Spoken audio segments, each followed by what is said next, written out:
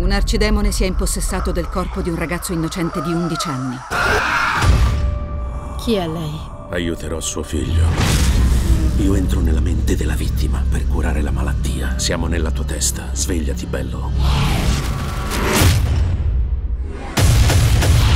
Quest'entità è forte. La più forte che abbia mai incontrato. Incarnate. A febbraio al cinema.